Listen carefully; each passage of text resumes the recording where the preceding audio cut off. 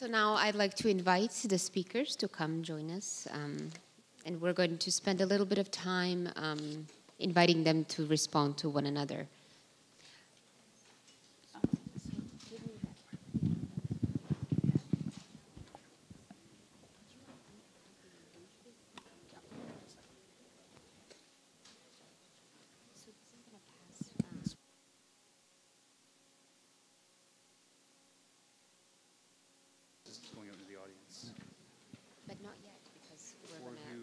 actually talk. Yeah, yeah. So. Oh, not on me. No, you guys are using that. okay. Um, so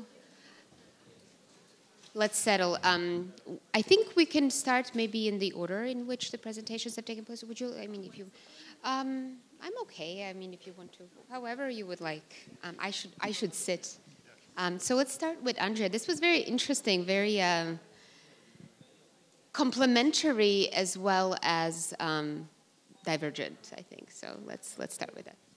Go ahead. No, let's. Well, thank you very much. This was really, really um, an honor to be on this particular constellation, uh, on this panel with this particular constellation of papers. Um, I think it's really interesting that we were tasked with thinking about locating the political, and all three of us um, um are, are, working on environmental issues and the forms of sort of dispossession, um, the land grabs and water grabs um, that are ongoing and that are bringing forth um, sort of a proliferation of different kinds of political moments. Um, so I think that's interesting and relevant um, to see that I think that that is where some of the contradictions are emerging. That is where a certain kind of um, uh, extremely um, politicized terrain, um, and, and it's not emerging. I mean, this has obviously been on, ongoing for many decades, but I think there's a way in which things are sort of heightened at the moment and will. So, in terms of maybe just quickly responding to uh, Kregg's paper, I thought it was very, very interesting to precisely think about um, politics as demanding and relying on the eventfulness um, or, or, the event in Rancière's terms. So, um, as you said, the, sort of the disruption of the sensible, the scandal in thinking, and so on. Um, but that in fact, um, a lot of politics has to unfold uh, on the level of chronicity, meaning that, for example, uh, the problem of toxicity and pollution is one that um, um, um, is non-eventful, uneventful, uh, in the sense that it, it's a slow, seeping, longue durée um, of, of um, kind of pollution that your people are actually dealing with. So that's a very particular political terrain to deal with. I think it's. I would love to talk more with you about the relationship between the chronic and the eventful, in how to make politics. Um, but it also raises a very interesting question of whether courts are the terrain upon which um, these long-term forms of um, um, uh, um, in this case, a dispossession of health, the right to health, I guess it would be, um, can actually be even fought. Uh, and your answer, of course, was courts are profoundly, and the law is actually profoundly unable to deal with issue, uh, things that are non-eventful. Um, and I think that's an interesting question also. Well, what then? And then I think your paper points precisely towards, on the one hand, I mean, I guess your paper points towards, on the one hand, people going to the ports, uh, the courts. That's what we call the judicialization of politics. I mean, there's a reason why people go to the courts because precisely the political sphere, political parties have been captured by special interests, their particularists. It's what I call the law of the few. Um, uh, uh, so particular uh, particularist interests um, captured by global finance or whatever. Um, so people still go to the courts, which are often, however, profoundly uneffectful, or they turn to other modes of radical action, be it vigil- their own kind of militias, their own kind of vigilantism. And interestingly, that's actually also something um, that uh, has been quite important to my own work on the politics of anti water privatization. So last week, I spent 10 days in Ireland.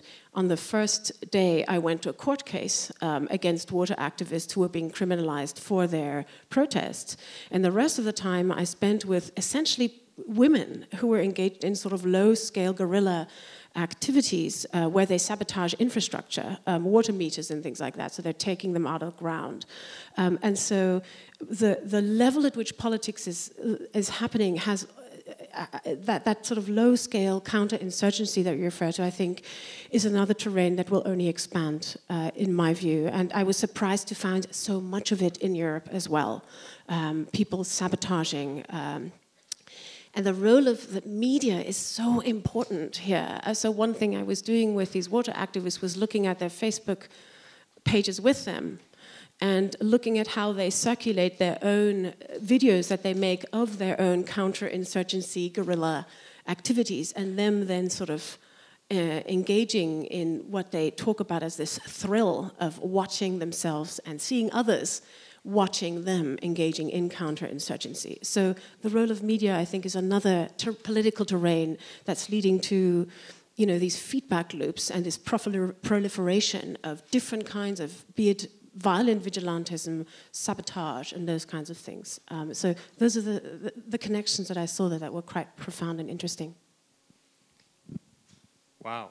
Um, I, I can't think on my feet nearly as eloquently as that, um, but, but I think that was um, that did pick up a couple of the, the interesting cross-cutting themes. So I think one of the reasons environment might be coming out, but also coming out in relation to this kind of this this low level stuff is because it's one of those locations where um, those of us who are kind of invested in it really after 10 15 years of thinking about it it just seems to get harder and harder to figure out how to how to address these things. So so i think there's there, there's something in the way that each one of us has brought up the kind of trap that we see um, that we see actually tightening around environmental and political issues um, and then and then trying to sort of creatively think outside of it. So whether it's uh, th- thinking through things, thinking through low-level counterinsurgency, or thinking through this play mode, which I which I really loved um, as a as a way of kind of disrupting on the margins of official politics, um, I think is I think is part of the the move that we're all um, that we're all making. And I think um, you know, in, in, in, relation to the judicialization of politics, which is a very Latin American way of, of dealing with some of the problems with official politics, um, it's true it's not, uh, it, it's not very effective on its own terms, but I think one of the things that, uh, that I'm trying to show, and I, and I actually think this, this um, is what both of you are doing in different ways in your own projects, is um, that it can be effective in other surprising ways. And so, and, and that to me is one of the things that anthropology is potentially really well positioned for is to, is to watch the ways that um, these potentially ineffective forms of, or, or, or, obviously ineffective forms of, of activism and of work um, actually have these strange longue durée kind of um, eddies and effects of their own. Um, and so, so certainly that's what, that's what draws me to, uh, to the, these kinds of things where we're actually in, in, in soy conflict or the environmental conflict, one could, one could point to a lot more events and one could point to a lot more obviously political things. What really interests me is those things that are really on the margins where people are feeling uncomfortable. There's clearly a, dis, you know, there's a disruption in the force going on for everybody involved that points to a possibility of some kind of, a, a of emergence coming out of that. Um, I found it really interesting to think um, through both your papers in terms of uh, the temporality of the judicialization of politics or the idea that lawfare, you know, when the Comaroffs talk about the lawfare being a particular moment of neoliberal um, politics, uh, and how the resort to lawfare uh, might connect to uh, both the way that legal institutions are set up. So, for instance, in um, the US, if you have uh, particular courts being um, described you know, by particular periods, so certain courts are liberal, certain, you know, the Warren co- court was liberal, this court was, is not going to be, or whatever. Uh, but I think one of the problems is that um, it, just sort of looking at how law might work uh, in particular fields uh, doesn't give us a purchase on how easily that can be swept away by new kinds of precedents and um, also by changes in the structure of the courts and the way that the courts themselves are part of national emotions. And uh, increasing, you know, if in India over the last, say, um, 10 years was, the last 10 years was a period when people were going to court, when there was a sense that the courts were active on a variety of different social issues. Now, again, you have an increasingly erratic court um, giving kind of sometimes hyper nationalist judgments, sometimes uh, the only judgments that are going to save the country, apparently. Uh, you know, so there's a range in which, uh, ways in which one needs to think about the court itself. Should we open it up and then you can respond? Um, yeah, I think that that, that could work. So, um, questions, questions, comments. Um, um, I think the translator will need um, to hear it.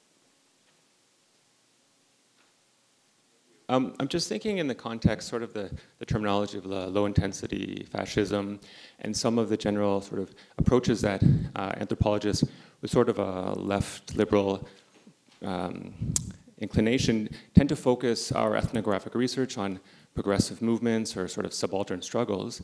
But to what extent at the, the present moment it might be important to, to switch it around and maybe, for example, the ethnography of like RSS militias, um, or kind of the, the, the, Trump voter base and such like that, where maybe we need to shift away from our comfort zone, the kinds of uh, uh, movements that we're attracted to, and focus on um, those other sides, the supporters of the low intensity fascism. Thank you.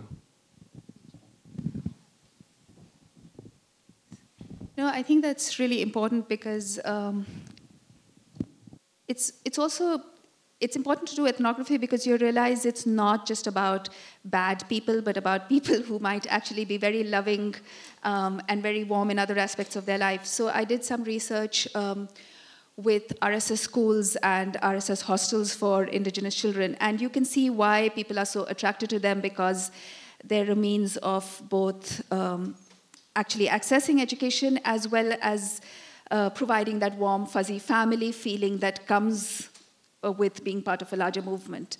Uh, so I think you know it's extremely important to do fieldwork, um, ethnographic fieldwork with people that you don't necessarily start off liking, and you don't necessarily end up disliking, but you know they're fascist.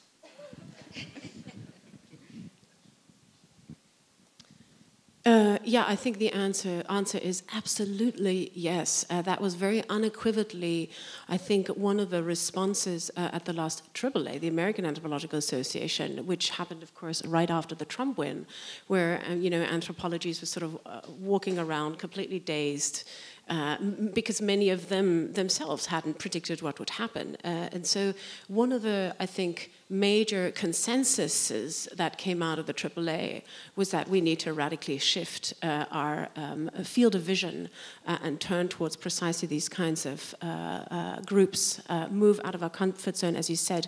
The other thing that was said was that there were tons of surveys that were done, and, and no one predicted the win of Trump, which also shows um, the profound poverty of not just service, but big data profound poverty. And so one of the things that a lot of people at the AAA said was, you know, that's exactly where our so-called small data i actually hate that distinction i think it's bullshit but you know what i mean our ethnographic method is precisely the kind of method that actually that can actually illuminate um, you know, the kinds of politics uh, uh, that are going on um, elsewhere.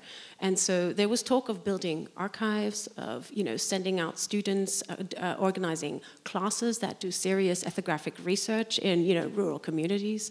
So my sense is that our American colleagues are doing a lot of that work already, and we should frankly be doing this here in Canada as well. Canada is not immune to these tendencies, and so it would behoove us to use that term, to, to, to do that here as much as in America and elsewhere, I think.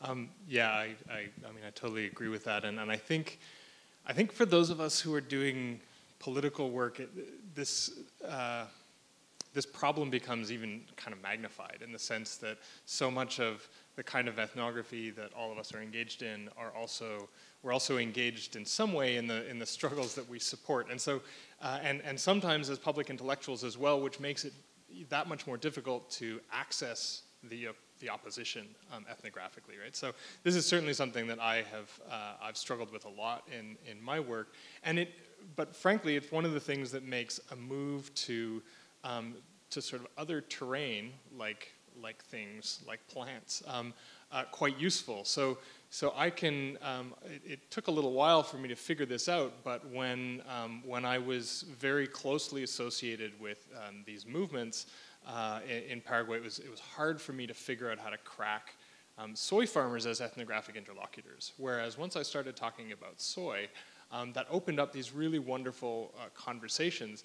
Um, and, that's, uh, and, and it also opened up a series, it, it complexified the field so much for me. It's very easy, and, and most people who work in this area in, in, uh, in Paraguay will do this. You can arrive there, find your community, and get one version of the story very easily um, as to what's going on. As soon as you start to break that out, it becomes more complex, and you realize because it's more complex, you also realize why it's so difficult to regulate, why it's so difficult to do anything about it politically, um, because the, the, the, simple story actually makes it seem like there's simple answers to that. Um, so I, I think all of these ways of, of sort of shifting outside of the, uh, uh, of, of, the official political streams is one way to open up these other kinds of uh, communities. But it's certainly something we have to push a lot on, and I think, I think students is a good place to start with. Sorry, I just quickly wanted to add that um, um, in my particular case with the water movement, I now, for simplicity's sake, represented it as a leftist movement. Um, but in fact, um, it's completely, on many levels, uh, indeterminate. And the one political party that is still sort of steadfastly fighting against the privatization of water in Italy is a populist movement that is highly indeterminate in terms of its politics. So it's anti privatization, um, but is also very xenophobic. And that was one of the sort of uncomfortable surprises to me is that you go in thinking, oh my God, this is about this radical re- you know, redefinition of property. But that doesn't mean anything politically anymore today. And I think it's these kinds of political indeterminacies also that we're encountering increasingly anyway in the field, maybe particularly when it comes to environmental struggles. I don't know. Yeah, I just want to add to that that uh, one of the fronts of the RSS, the Swadeshi Jagran Manch, is one of the sort of um, strongest anti-capital, anti-foreign investment kind of fronts, and uh, you know they would be against the privatization of uh, various things like water. But the problem is the connection between that kind of political stance and enable. So that would attract a lot of people who would then uh, also buy into their other kind of fascist anti-minority leanings. So how do you actually deal with the sort of complex contradictory politics of um, what we now see as Ur-fascism? Thank you. Um, questions, comments? Um, there are multiple ones. There's two up here and one right here. So let's start above. Thank you for your patience.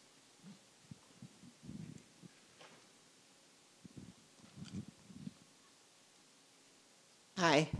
Uh, thank you for extremely interesting discussions of the political and raising a lot of questions. Um, I guess my overall question is each of these separate uh, battles maybe have two sides, you know, they become murky. I think Nandini just said a little bit, and uh, Kregg said the same thing.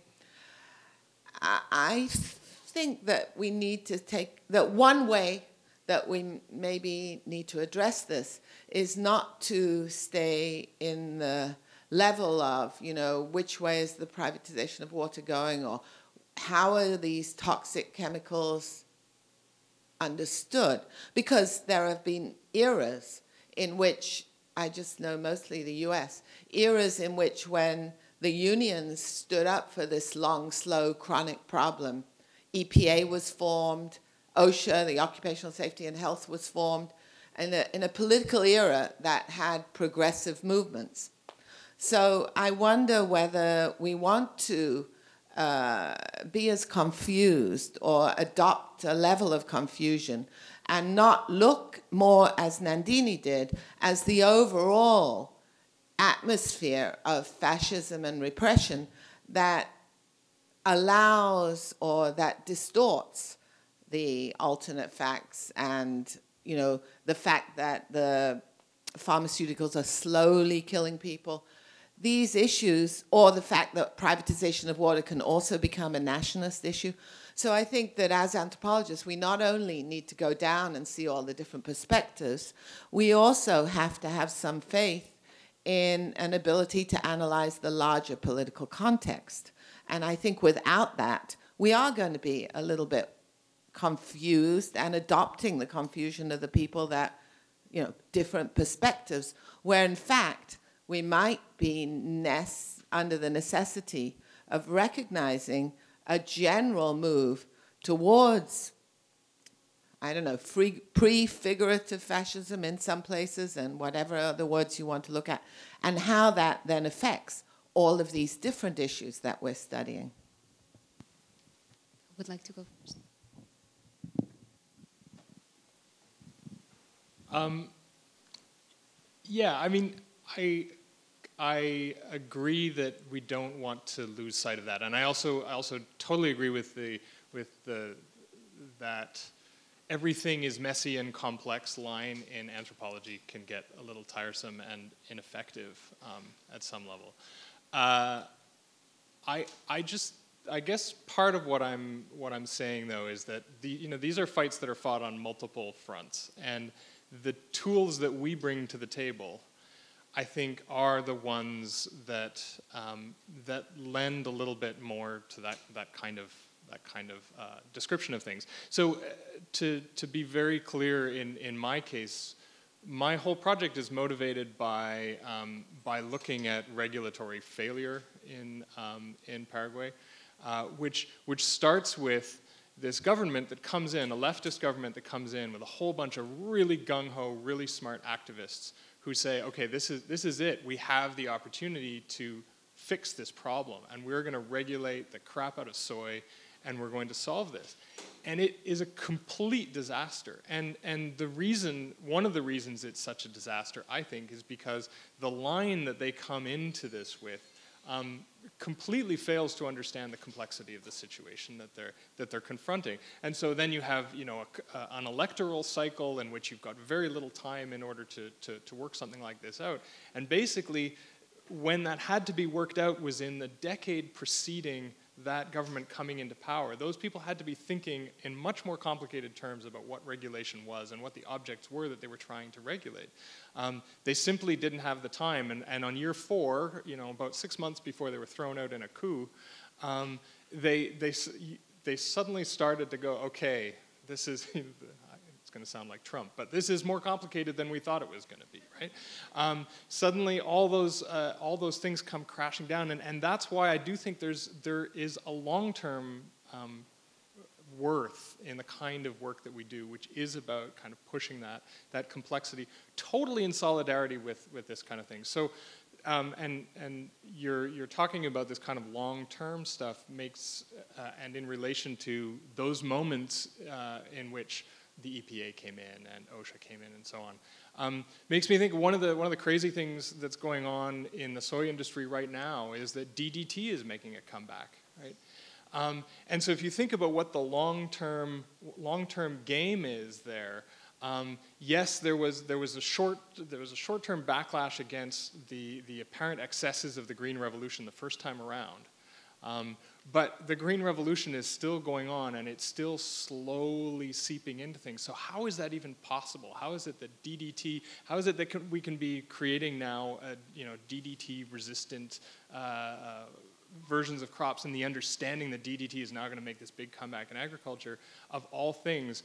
Um, makes me think that we're that most of us are kind of missing what the game is when we talk about it in polarized terms and we talk about it in in, in um, in these sort of macro things. There's, there's a lot more control going on over how we define these substances um, at this small level, and we need to get savvy about that.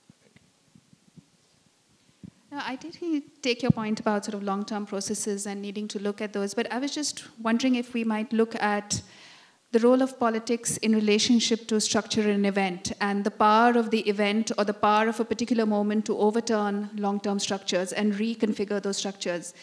Because, for instance, if you were an anthropologist studying um, syncretic relationships between Hindus and Muslims, you could actually study that uh, for a long period and establish the fact that there have been interrelationships of all kinds, and suddenly there is a communal riot and all of that gets swept away, right? Or something happens and long term structures change. Um, so the power of politics to act as an event and to overturn a long term structure is something that I think we need to be um, quite attentive to.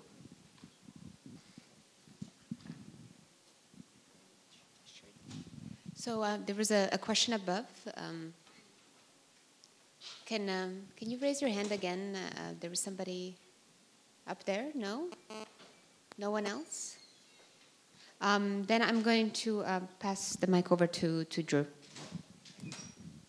I also really uh, enjoyed the the three papers a lot and have been thinking about them in some of the ways you've already been talking about. But the one thing that I would love to maybe hear your reflections about um, it struck me, Kregg, when you were talking about um, that that the farmers can no longer speak about certain things without a bit of discomfort, right? That there's something kind of underlying disturbed that their sense of you know of how they think about the world, and then it, it got me thinking a little bit about maybe the pleasure of making law and staging the referenda.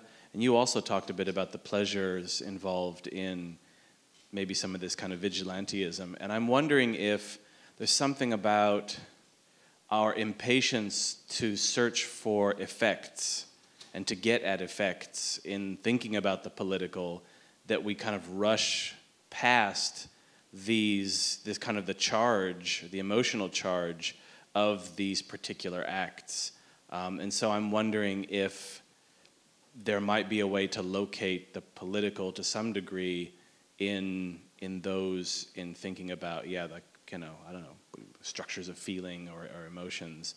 Um, and I think that when we think about court cases, those tend to be those moments where we are rushing to think effects, right? Like what, where, where is this? What's the verdict going to be? And then what are the implications? Rather than kind of dwelling in, yeah, the, the kind of the pleasures of, uh, you know, and they can be, that's a multivalent, right? They can be the pleasures of, of, uh, you know, maybe hanging somebody um, versus versus and and so I just would love to hear some reflections about that maybe.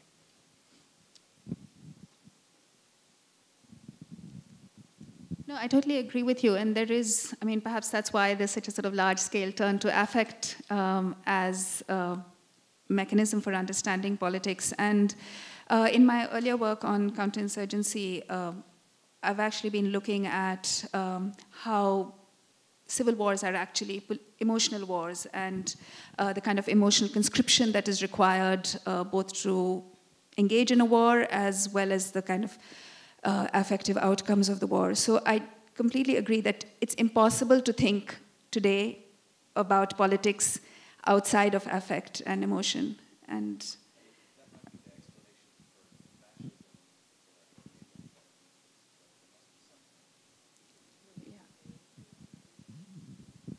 yeah, in in the sense that their own interests is the wrong frame to understand that, right? So it's a it's a two-way misrecognition of of, of what's going on there. Um, yeah, I definitely feel, and I think this is this is so true of environment. I mean, if you think about what Silent Spring does at the moment um, when when it is eventful, um, it is very much about it's it's an effective reorganization of how people think about agriculture, um, and and so uh, so I've been, uh, I, I, like looking for those, those things that are apparently banal, and even like when I talk about this disturbance that people feel, it, it's really, it's, it's hard to note sometimes. It's sort of a posture thing, or these little, these little caveats and these asides, but it's clearly there, and it's clearly about how people have been forced in one way or another to, to, to reorganize their thinking. And those, those things do have long-term effects, but not in the way that one would be able to predict or plan out. Um, I would just wanted to add um, that I think those of us who are studying politics and political movements on the quote unquote left or the quote unquote right or whatever, um, I mean, it's very obvious that all of us are paying a lot of attention to media and affect and the way in which um, we, you know, who, you know, our discipline has a long history of studying social movements, um, but I don't think really we've even begun to theorize um, the way, uh, the, the, question of mediation here. Uh, and we've begun to understand, uh, and there's of course a lot of writing also on, you know, the different kinds of revolutions, the Egyptian revolution, the road of Twitter, and all of that. But I think from an anthropological um, sort of uh, perspective, um, I'm, I'm looking forward to, to some really serious kind of thinking about how uh, movements are organized and potentiated through um, media and, and precisely the affective experience of watching people killing each other or sabotaging meat, water meters or whatever it is. Um, there is some talk on this if you think about Maple Razsa's work, and he's uh, talked about alter globalization uh, activists and riot porn. Uh, so the sort of pornographic pleasure in watching, you know, the black bloc beat up the police and vice versa, and they watch it over and over and over again. And surprisingly, you know, I'm encountering the same thing with these, you know, these women who talk about the thrill, and they do this collectively. Uh, so they come together in groups, dress in black, like SWAT teams, they said, and take out meters in, the, you know, in the working class neighborhoods in Dublin. Um, but and, and, then you can also see and track on Facebook that these videos themselves are being watched by thousands and tens of thousands of other people. Um, and you know, you know, so a theory of affect and, and how it's mediated through new social media and potentiated and create certain kinds of collective effervescence that, of course, you know, the, and cre- create, I guess, certain forms of political collectivity um, that are lacking uh, uh, in the quote unquote, um, not the real world, that's not the right term, but you know, in the in, in, in world outside of media is an interesting question. Um, so I think we have a lot of work to do there as well. WhatsApp is also, why did I join WhatsApp? It's because all the activists are constantly circulating this. I wouldn't have thought to. I know. I know it's super useful, but I'm just saying I joined it only because of the activists, and now, of course, I use it all the time. Yeah. yeah. Thank you. Anybody else?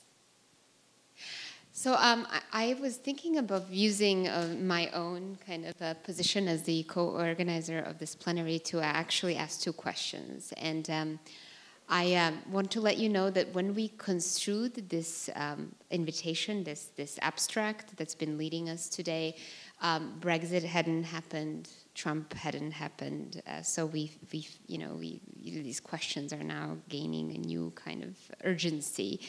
And I, I was struck by the ways in which um, all of you were talking in, in, about in different ways about being in a kind of a state of emergency. So I, I have two questions, and one of them is a bit dark, and another one is a bit less dark. So so let, let me. I don't know which one you'd like to go with first, but perhaps I was struck by we, we asked a question about um, what happens to older political languages and, and sort of how are they perhaps mobilized in some ways or transformed um, to respond to a new set of circumstances. And I was really struck in two papers very explicitly by the specter of fascism, right? And, and I wondered um, if we could talk a little bit about that, about um, the, uh, some of the possibilities and, and perhaps also limits inherent in reviving that language and that mode of critique. And then in relation to that, I would like to know is there a way in which we can move towards a kind of an anti fascism, a contemporary anti fascism, a kind of an anti fascism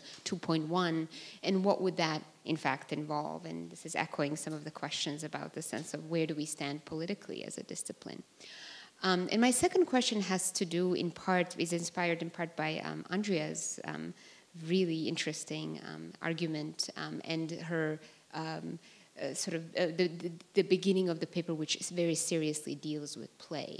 Right? And I, I'm somebody who also works on kind of experimental forms of political action and have been thinking about play quite a bit. Um, and it's, it, I was thinking also the ways in which the kind of turn uh, to play um, mimics in some ways um, the other children of the kind of non-referential turn in politics, which, for example, is the post-truth, right? The whole kind of idea of the alternative facts and so forth. And um, I was wondering if we could speak about that because you were also um, talking a great deal about how there is no predetermined content to any of these new kind of experiments with referenda, with extra uh, kind of uh, the, with the um, um, what are they called? Executive orders right that these these experiments um, of, with locating politics elsewhere actually do not have a pre-existing content. And i was wondering if there's something more structural shifting in the nature of our political culture and, and language itself that is in fact enabling these kinds of transformations. So um, that's plenty i think and i'll you know whoever would like to go first is um, you know let me know Thank you, Craig. Um,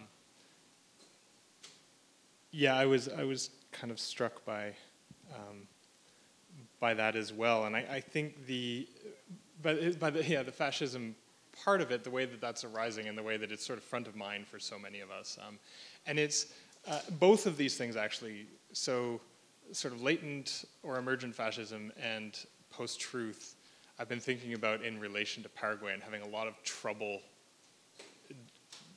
trouble locating it. And I think one of the one of the reasons that I'm having trouble with it um, is because uh, they seem to, they both are symptoms of a crisis in liberalism, um, and anthropologists have been very good, uh, including many of us here, have been very good at criticizing liberalism for a long time, right? So, so we uh, there's this there's been this move to um, to kind of I don't know what the word is, but, but you know, take the piss out of liberalism a little bit. And in part, that's about, uh, that's about criticizing its representational politics, um, this kind of the, the transparency politics on which truth and, and therefore post-truth play.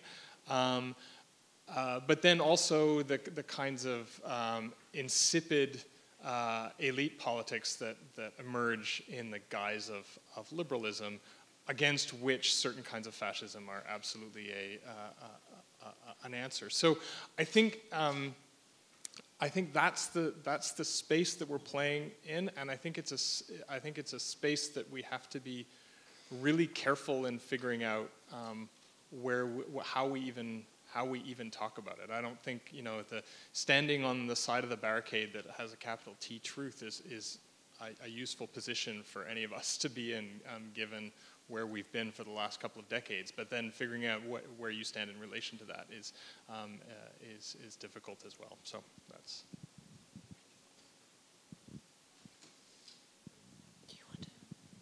Um, with regards to older political language, um, I mean, when you look at the European scene and the recent elections, um, it's very, very clear that uh, mainstream political parties um, that have existed uh, for the bulk of the 20th century that built the welfare state and then dismantled it. Christian Democrats, uh, Social Democrats are broken. Um, and in, in, Italian, that would be the, what used to be the, the, very, very large Communist Party. And that, of course, the, the pattern that's emerging is candidates emerging on the far right and the far left. Uh, well, far left, you know, whatever, that are. Um, kind of, I'm thinking now about the Austrian elections, but also the Italian scene. Um, scene is a little bit different in France, but the breakup of the hegemony of um, uh, the large political parties, I think, is a pattern that we can see, at least in the European case.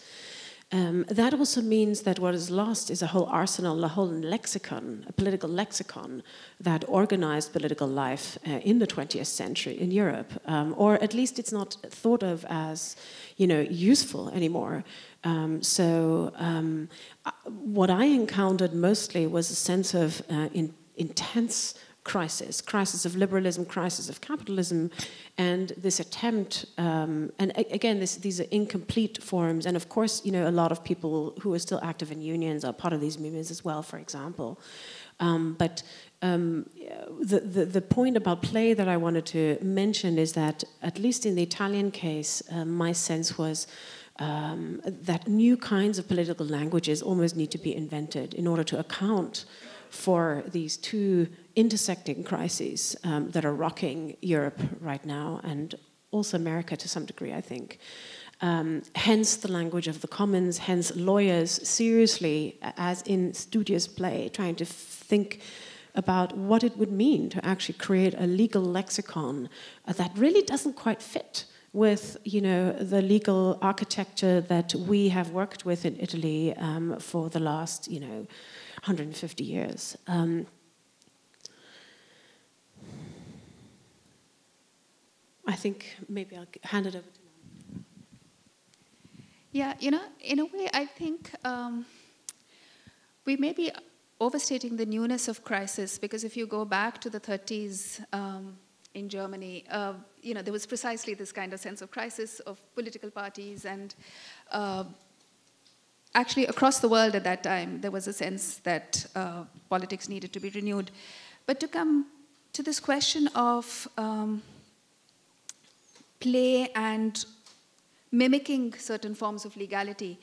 I don't know if you've recall this conversation uh, between Foucault and the Maoists uh, in um, it's this sort of delightful uh, discussion of what juridical forms, uh, the effect of juridical form on the content of uh, the possibility of justice and what it would mean, um, what it means to have a third party as a judge over two contending parties and what that means for the ability of um, the proletariat, sort of loosely defined, to actually seek justice within a formal legal structure.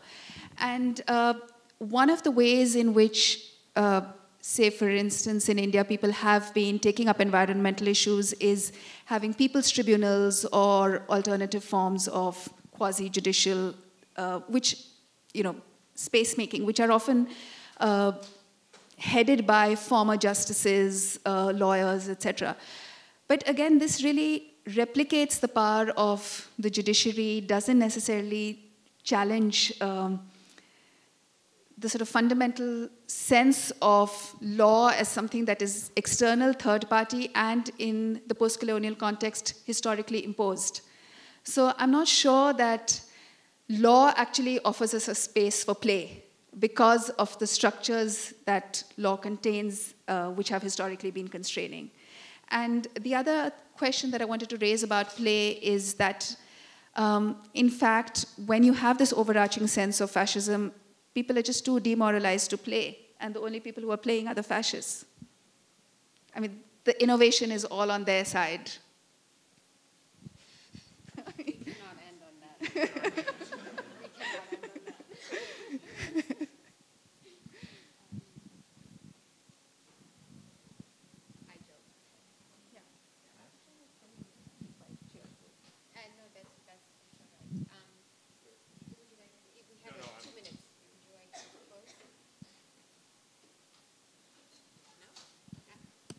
maybe just to not enter that.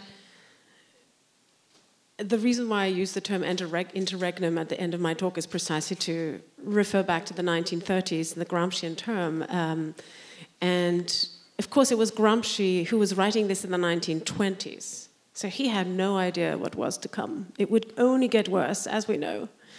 Um, but um, his argument about the interregnum was precisely this: is that uh, on the one hand, it's a time of monsters, and at the same time, the horizons are open, and it's really the only thing that we can do is keep that horizon open. I think.